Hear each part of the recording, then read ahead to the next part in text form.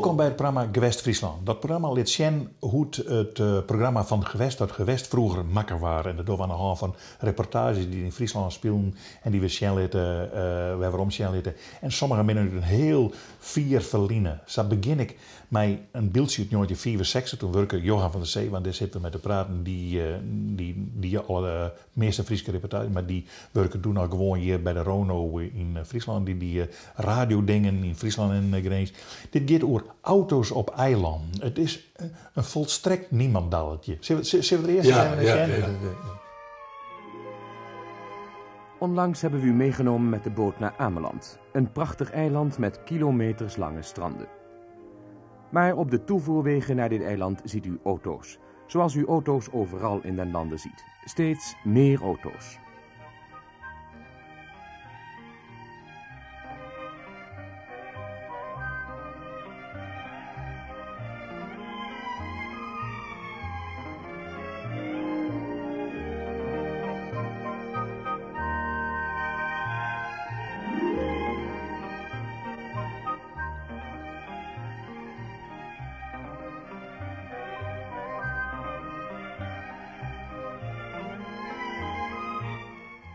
Maar er zijn nog gebieden in ons land waar geen, of liever gezegd praktisch geen auto's rijden. Dat zien we onder meer op Vlieland en op Schiermonnikoog, ons noordelijkst Waddeneiland. In Oostmahorn blijven de auto's staan, terwijl de passagiers aan boord van de boot gaan.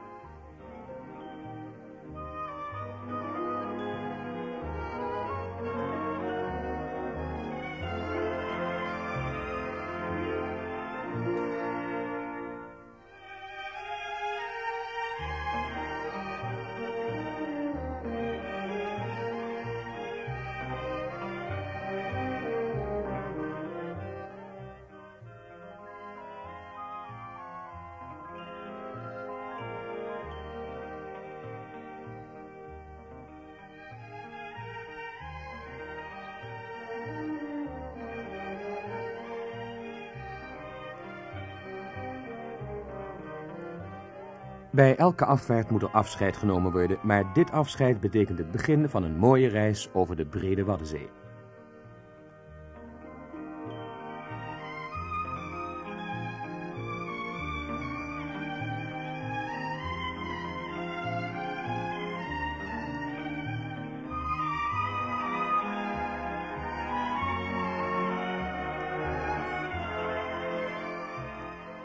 Geen auto's aan boord, maar wel veel bagage die anders in de auto's meegenomen zou zijn.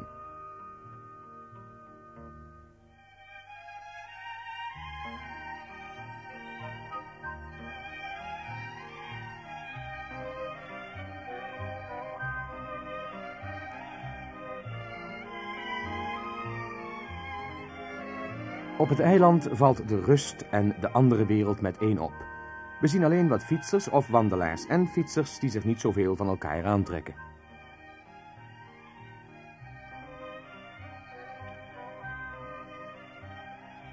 Dit is alles wat er aan snelverkeer is.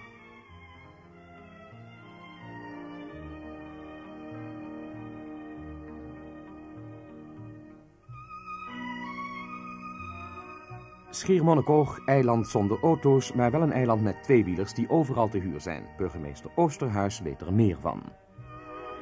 Waarom willen wij hier op Schiermonnikoog geen auto's hebben? Die vraag die zou ik met een wedervraag kunnen beantwoorden. Wat zou er van het prachtige en vooral rustige eiland Schiermonnikoog terechtkomen wanneer alle toeristen hun auto's meenamen? De duizenden toeristen die hier in het zomerseizoen komen om van de heerlijke rust te genieten, zouden dan niet meer ongedwongen over de straten hier op Schiermonnikoog kunnen lopen. Thans kunnen ze praktisch onbekommerd om het verkeer over de straten gaan. Het is een gelukkige omstandigheid dat de minister van Verkeer en Waterstaat op grond van de Wegenverkeerswet en het Wegenverkeersreglement de toegang tot het eiland gesloten heeft verklaard voor alle gemotoriseerde verkeer.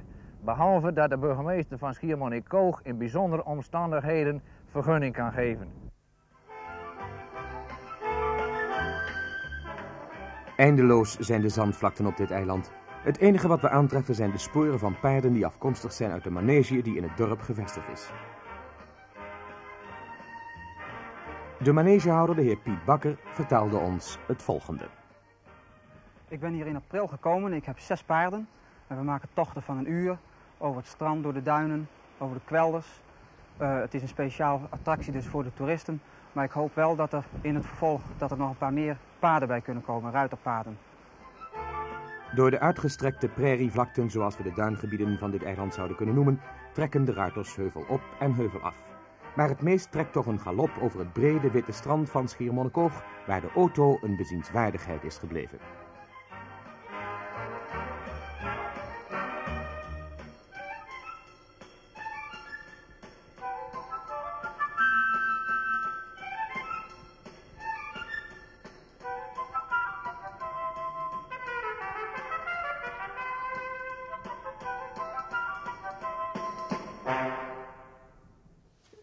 Het zei helemaal niks. Uh, uh, wij wisten dat je wel Vlieland maar geen auto's en, uh, en, enzovoort, enzovoort, enzovoort.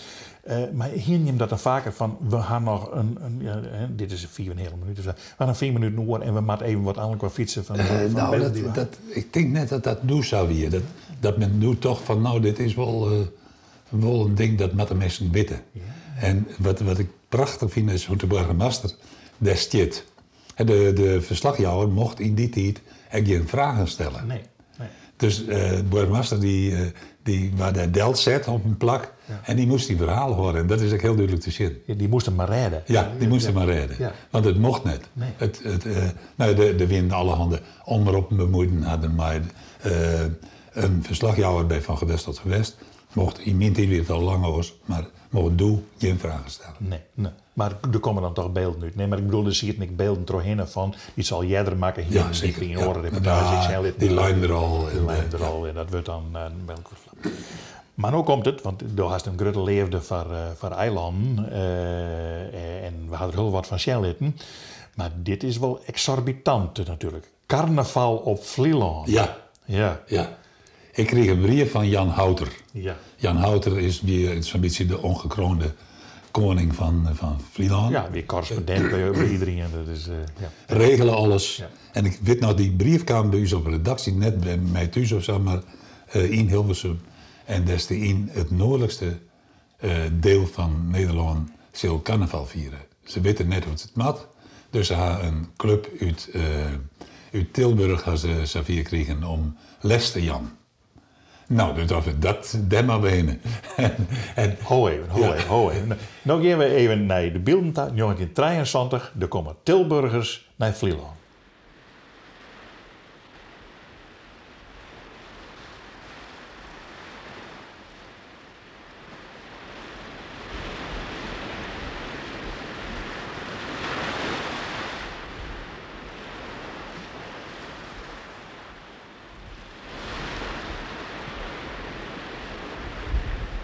Vlieland gaat carnaval vieren. Een beetje vroeg, maar het is ook voor het eerst dat het hier op het eiland gebeurt. En de Vlielanders gaan niet over één nacht ijs, want ze halen een complete carnavalsvereniging uit Tilburg naar het eiland toe om het te leren aan de Vlielanders. Nu is het de vraag of carnaval een exportartikel is en of de mensen hier in het uiterste noorden van Nederland geschikt zijn om carnaval te vieren. Maar dat zal de komende dagen hier wel blijken.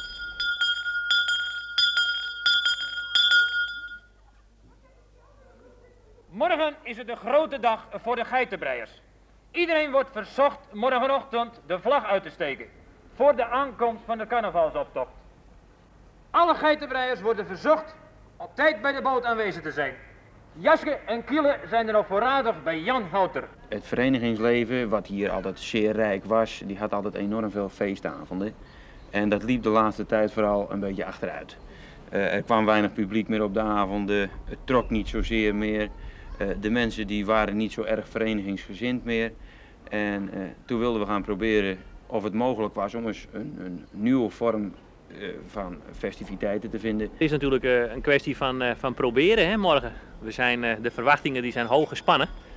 Iedereen die staat er een beetje nou ja, wijfelmoedig tegenover. Maar als wij er zijn, dan zal het best lukken. Maar het zijn natuurlijk wel Noorderlingen, hè? Ja, maar uh, er komen zoveel Noorderlingen in het zuiden carnaval vieren. Bij ons in Tilburg ook verschillende, dat echt veel gebruik van gemaakt wordt. Ook Noorderlingen. En nou, zover ik weet, uh, passen die zich goed aan, doen ze het goed.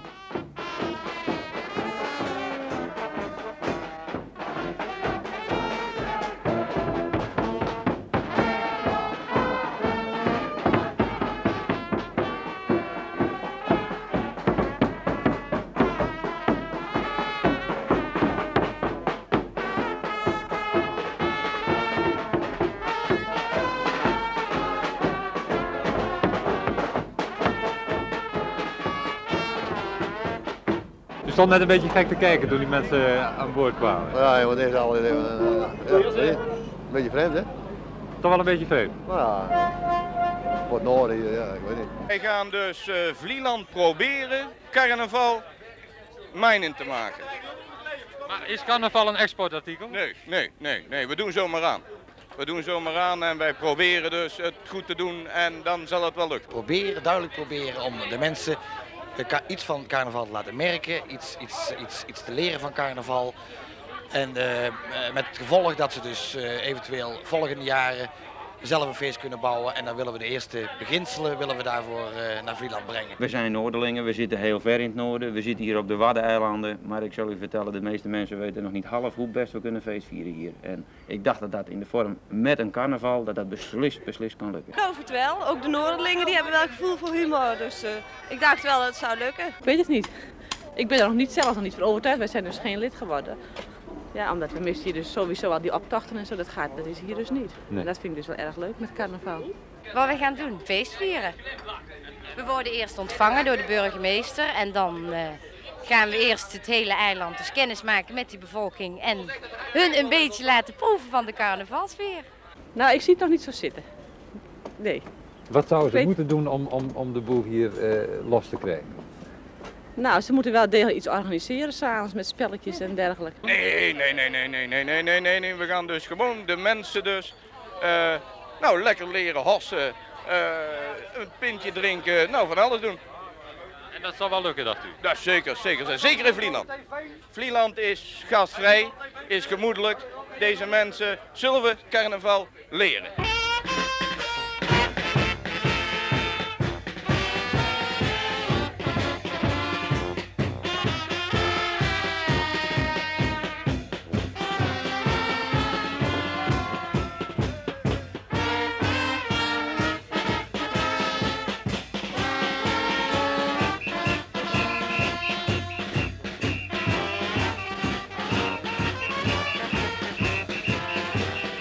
We krijgen compleet les en uh, we zullen goed onze ogen en oren de kost geven. En uh, dan verzeker ik u dat we volgende jaren uh, nog veel groter voor de dag kunnen komen.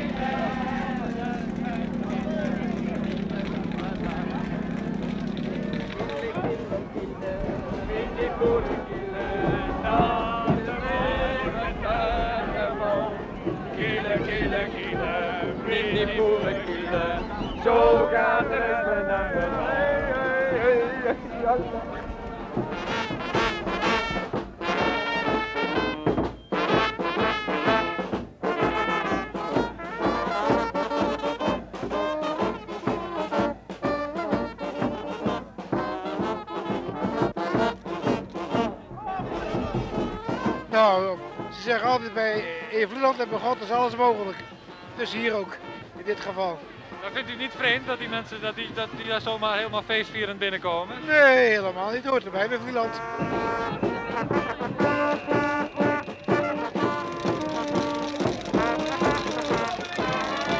Uh, ik vind uh, voor Vlieland is er andere reclame, vind ik ergens belangrijker. Hè? Het wordt altijd dus gezegd, het is het eiland van stilte en rust.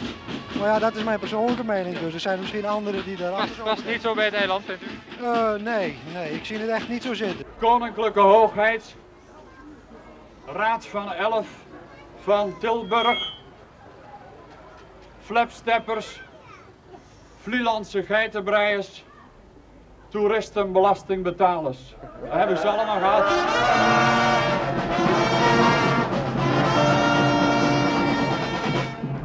Om overal binnen te komen hebt u nodig een sleutel, een sleutel van dit eiland. En ik hoop dat u daar een gepast gebruik van zult maken.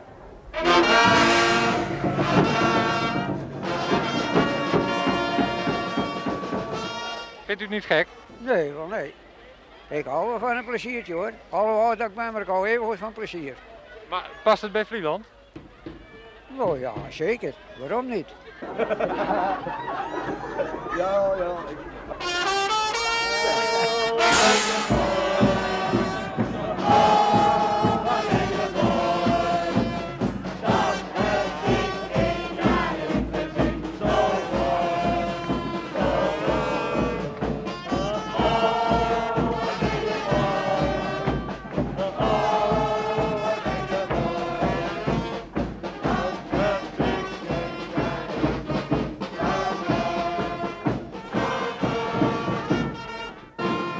Zijn nooit in een gelegenheid om daar naartoe. Hè, maar nu deze keer wel, dan kan we het hier eens bij maken. Vind je, het geen vreemde zaak? Nee, helemaal niet. We zijn, we zijn wel wat gewend hier. Kunt u zich voorstellen dat mensen zich zo uitleven, zo, zo vrolijk zijn en zo, zo doen? Nou, nee, wij als Noorderlingen niet.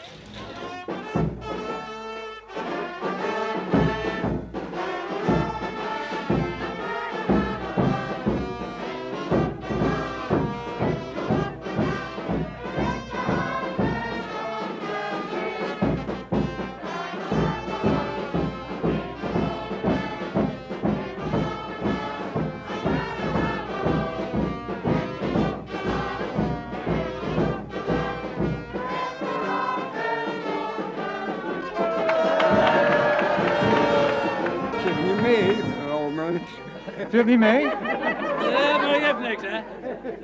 Zit niet mee? Ja, nou gaat wel hoor. Ja? Maar het was toch wel fijn zeker, hè? Ja, fijn hoor. Wat, wat, wat heeft u dan nu gekregen? Wat is dat? Nou ja, ik weet wat het allemaal is hoor, medailles. Medailles? Meisje, Ik, ik wou ook graag wel bij carnaval zijn. Maar het mocht niet van mijn moeder, want mijn moeder zei, je bent nog veel te klein. Als je later groot bent, Ja, dan mag het wel. ga je dan ook? Heel graag. En vind je het leuk dat de carnaval nu op Vlieland is? Ja, heel erg mooi. Hoop je nu ook dat er weer gauw carnaval op, eh, op Vlieland... Want ik heb er een vriend bij. Wat zeg je? Ik heb er een vriend bij. Waar komt die vandaan? Uit Tilburg. Carnaval vieren kunnen we allemaal. Het is eh, net hoe je het beleeft. Je moet jezelf zijn, jezelf blijven. Hè? Wat, wat is carnaval eigenlijk? Eh, carnaval, ik geloof dat ik dus in tegenstelling misschien tot de Limburgers daar geen duidelijke uitspraak over wil doen. Ik geloof carnaval, mijn mening is dat je zelf zijn, maar ook zorg dat je jezelf blijft. En dat er dus geen specifieke manier is van carnaval vieren. Ik geloof dat we dus eh, moeten zorgen dat we met elkaar een leuk feest organiseren. En ieder op zijn eigen manier. En, en het komt elk jaar weer terug. Gelukkig wel, hè? Ja, ik, vind, ik wou dat het, dat het elke dag was. Dankjewel. En veel plezier verder. Of moet je naar huis? Ja, dag. Gaat u er naartoe? Ja. U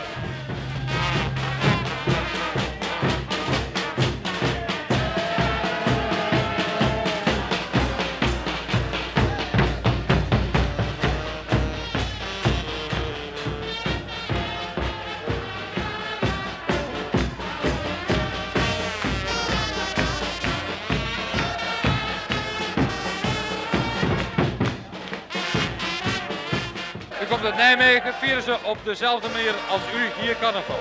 Nee, nee, nee. Daar moeten ze nog een hele hoop leren. Maar vindt u dat belangrijk dat ze het op uw manier vieren?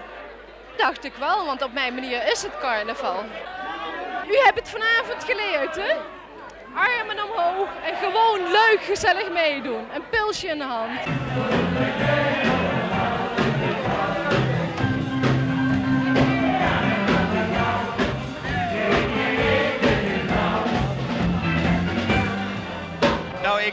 Ik, ik vier dus al tien jaar carnaval in de bos. Hè? En ik moet zeggen dat ze zich al enorm aanpassen, gezien de korte periode dat ze zich hebben kunnen inwerken. Maar als zij enige jaren hier carnaval gevierd hebben op deze manier, dan ben ik ervan overtuigd hè, dat men dus carnaval vieren zoals in het zuiden. U ook? Ja, vind ik wel, vind ik wel, ja. ja. Echt waar? Ben ik van overtuigd. Ik geloof er niks van. Ja, ik wel. Ik wel, jawel. Nou, heb ik, dan, moet ik eerlijk, dan moet ik eerlijk zeggen, ik heb de laatste vraag niet gehoord, dus dan moet ik eerlijk Nee, zeggen. maar meneer zegt dat hij ervan overtuigd is dat men hier carnaval zal kunnen vieren zoals het in het zuiden gebeurt. Nou, nee, dat geloof ik niet. Nee. Nee, nee, ik geloof ik niet. Ik, ik, ik, ben wel, ik geloof wel dat iedereen carnaval kan vieren, maar niet zoals het in het zuiden gebeurt. Met dat, met, ik bedoel eigenlijk met die warming-up, met het gevoel van binnen, die kriebel van binnen, die, die krijgen ze hier niet. Nou, ik weet wel wat u bedoelt, want ik vier het al tien jaar in de bos. Hè? Maar niettemin, ik ben ook een Noorderling. Hè? En dan geloof ik gezien de situatie hier in het noorden, dat ze zich even goed kunnen aanpassen als in het zuiden. Aan het carnaval. Mag misschien op een andere wijze gebeuren, hè? maar ze passen zich aan. Het is op een andere wijze gebeuren, dat geloof ik. Steeds van, hè? Vanmorgen zei ik dat ik niet zou komen, hè? maar ik, ik ben toch wel gekomen. Ik vond het hartstikke leuk, hè? Hartstikke mooi, man. Maar u ziet er ook heel anders uit. Ja, dat is mezelf. Ik heb een hele andere pakje aan, hè? Dat is de kapitein, hè?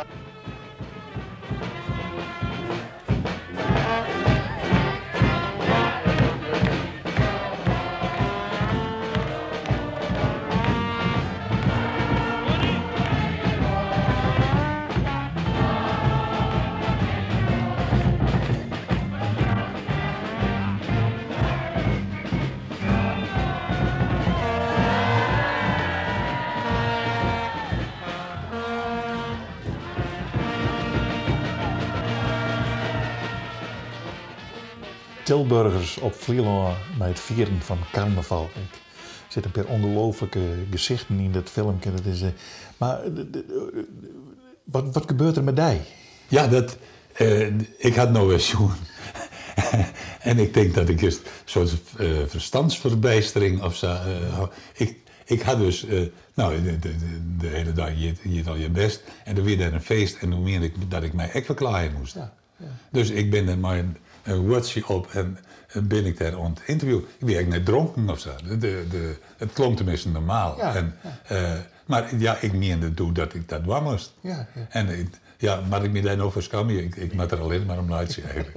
Ja, dus, dus ik prima zei, maar ik bedoel, de, hè, er die denken van, wat moet die leur hier? En dan gaat Johan van der Zee mij feest vieren. dat is, ja, eh, ja. ja, nee, weer wel leuk. Ja. Dat is, Nou, dat we, ehm, wij zijn het, het hier daarop, mijn vrouw en ik, eh, naar Tilburg geweest. Om de, Echt carnaval te Om carnaval te vieren. En toen hingen wij iets van, wat matten we hier? Ja, ja. Daar reis dan vanuit de Jouwer naar Tilburg. En dan was die in, dat konden wij niet. Nee, dat kon niet. Nee. En de Tilburgers had zien die letter nog een keer op, op Vlieland West om te zien dat ze het konden. Ja. Dat hebben ik filmen. Daar kan ik me net zo'n soort meer van in het zin brengen. Maar ze konden het net. Maar die is net wegverklaard. Nee. nee, Nee, door Wieser, goed. Nou, dat is weer- weer carnaval eh, op eh, Vlieland. Prachtig eh, verhaal in zijn geheel natuurlijk. In Jatiets van Gewest tot Gewest zaten we sociaal in Gewest Friesland. Door een weer.